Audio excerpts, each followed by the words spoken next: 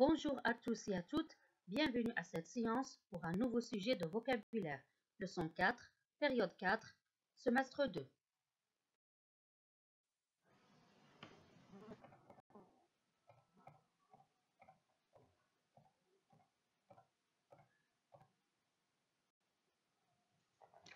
Alors avant de commencer, on va s'appliquer sur un exercice de remédiation et consolidation rapportant sur la dernière séance de vocabulaire intitulée Des abréviations et sigles.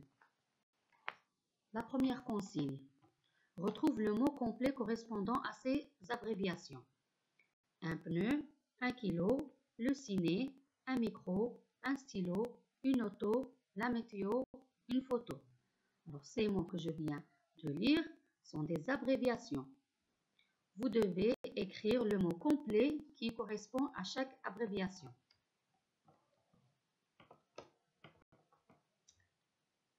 Quand vous aurez fini, vous allez passer à la correction que je vais faire maintenant. Un pneu, un pneumatique, c'est le mot complet. Un kilo, un kilogramme. Le ciné, le cinéma. Un micro, un microphone. Un stylo, un stylographe. Une auto, une automobile. La météo, la météorologie. Une photo, une photographie. Maintenant, passons à la deuxième consigne. Associe les sigles à leur signification. SVP, HLM, SNCF, OMS. Ce sont des sigles. Il y a leur signification à droite. Je relis chaque sigle à sa signification qui convient. Quand vous aurez fini, vous allez voir la correction que je vais faire maintenant. SVP veut dire s'il vous plaît. HLM veut dire habitation à loyer modéré. SNCF veut dire Société nationale des chemins de fer français. OMS veut dire Organisation mondiale de la santé.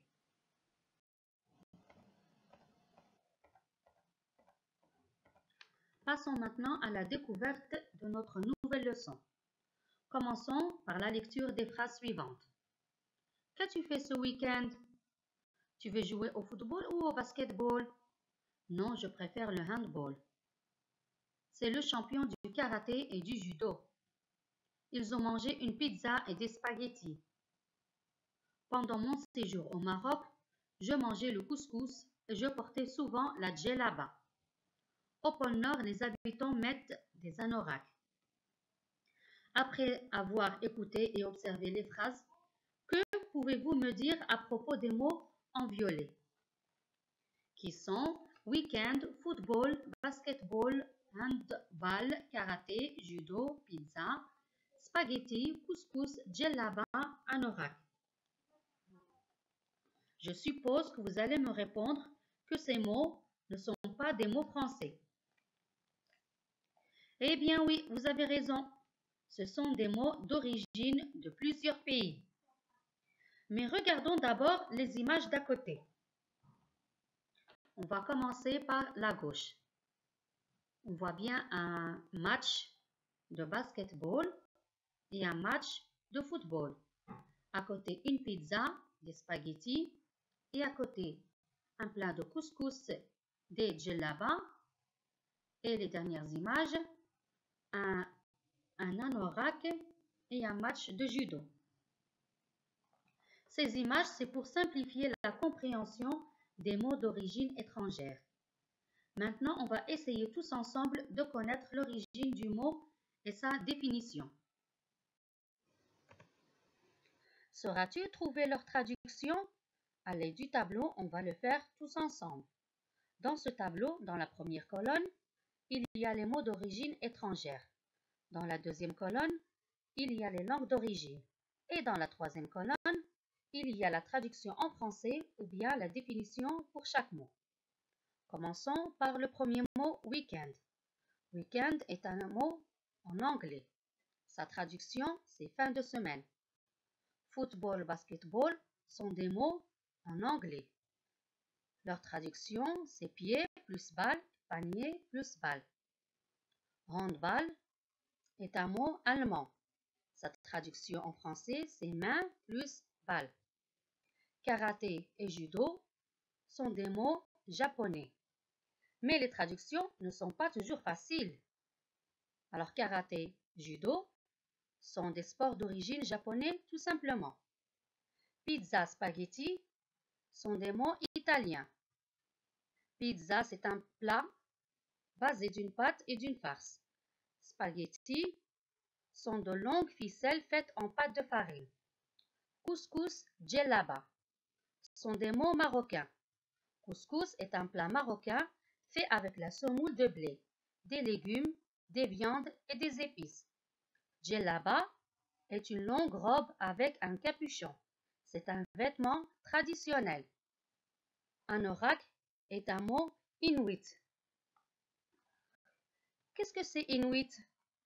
Eh bien, les Inuits sont des habitants de l'Arctique nord-américain, à l'est de Groenland et l'Arctique canadien.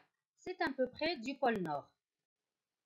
Alors l'anorak, c'est un blouson très épais destiné à protéger du froid, dont les manches et la taille sont élastiques, comme on a vu tout à l'heure dans l'image, l'anorak. Alors je souhaite que vous ayez bien compris la leçon. Merci bien.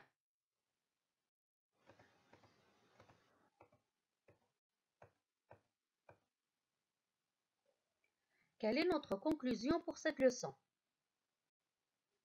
Eh bien, beaucoup de mots qu'on utilise en français sont empruntés à d'autres langues et d'autres cultures.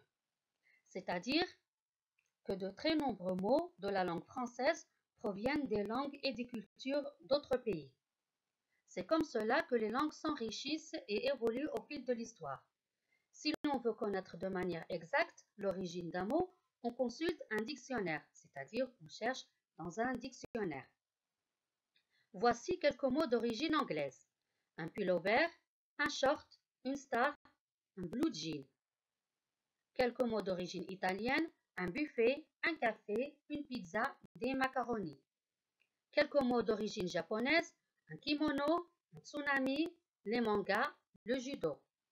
Quelques mots d'origine allemande, un hamster, un képi, un boulevard, un vampire. J'espère bien que vous avez retenu et mémorisé la leçon.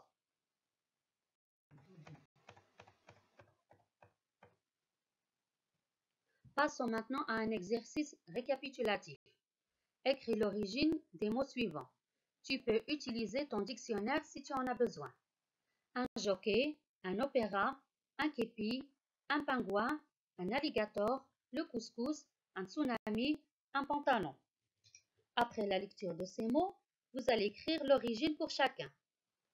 Quand vous aurez fini d'appliquer l'exercice, passez à la correction que je vais faire maintenant. Un jockey est un mot anglais. Un opéra est un mot italien. Un képi est un mot allemand. Un pingouin est un mot hollandais un alligator est un mot espagnol. Le couscous est un mot marocain. Un tsunami est un mot japonais. Un pantalon est un mot italien. Je vous souhaite bon courage et à bientôt.